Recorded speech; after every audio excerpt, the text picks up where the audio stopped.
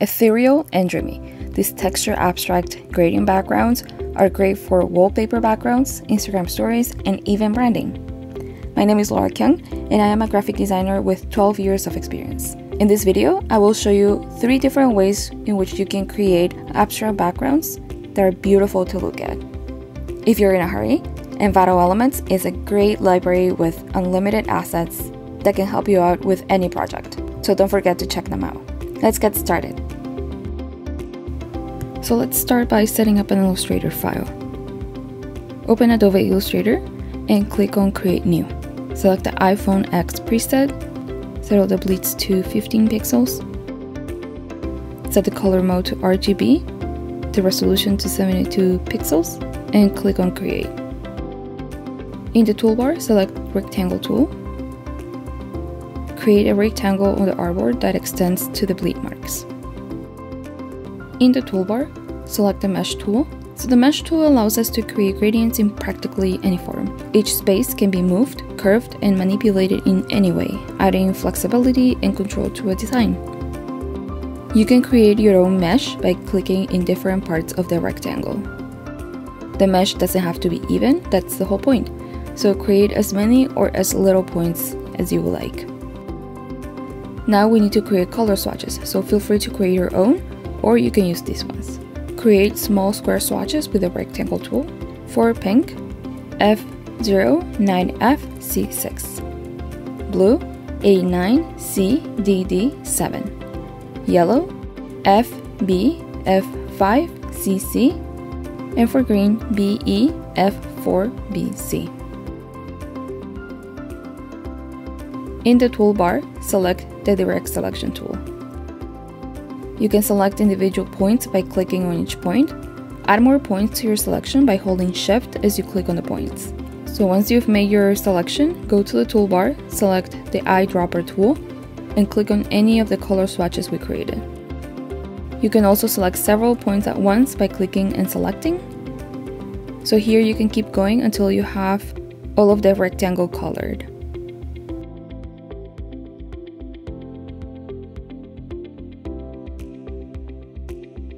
Using the direct selection tool, click on any point and you will notice other points get activated. Those are points that allow for curves. Feel free to play with those. And another option is to grab whole areas with just the selection tool and move them around.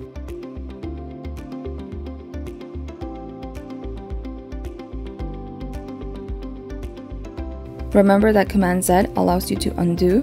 This is your best ally for this step.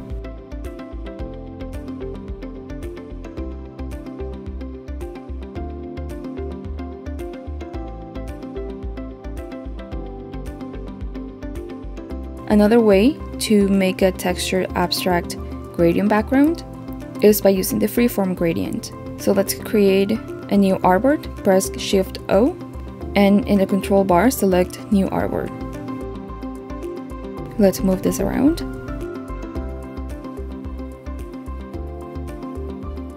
And now let's set up our color swatches. For the light purple, EA D0 E2. For blue, 0930CC. For the light blue, A9 EFEE. And for peach, F2 C6AF. In the toolbar, select the rectangle tool and create a rectangle that again expands to the bleeds of the wallpaper. Open the gradient panel by going to Window Gradient. While selecting the rectangle, click on the Freeform Gradient in the Gradient panel, and under Draw, select Points.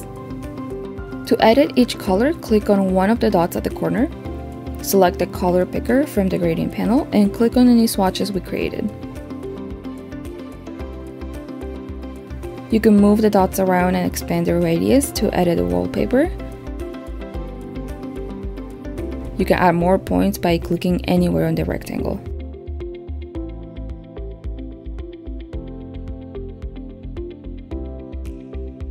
So here we can move things around and really there's no right or wrong. The result is all up to you.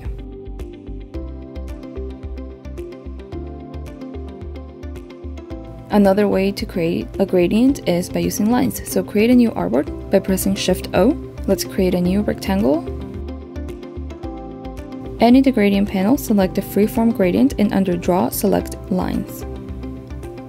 Click anywhere in the rectangle to set a starting point, and you'll notice that this tool behaves as similar as the pen tool when you're creating curves. You can leave the shape open or you can close it, and you can change colors. So select a point and then select the eyedropper tool from the gradient panel and click on one of the color swatches. You can add more points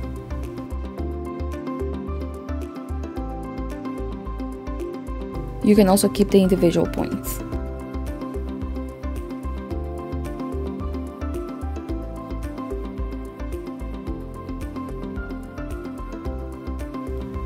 To recolor the artwork, head over to Edit, Edit Colors, Recolor Artwork.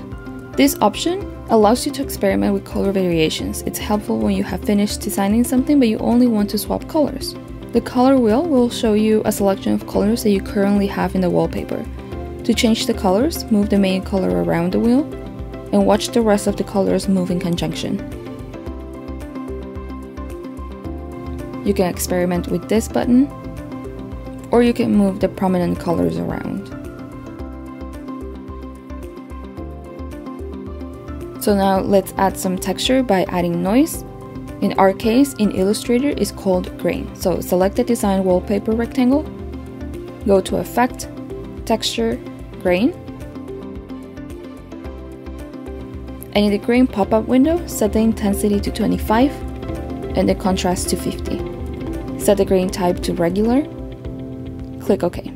And there you have it. You have three different awesome texture abstract backgrounds that are very easy to create and there are different ways to create them in Illustrator. Remember that if you're running out of time, there's always Envato Elements. They have a growing library with awesome abstract gradient textures and many more assets for your projects. My name is Laura Kyung, and from all of us at Envato, thank you for watching, and we'll see you in the next one.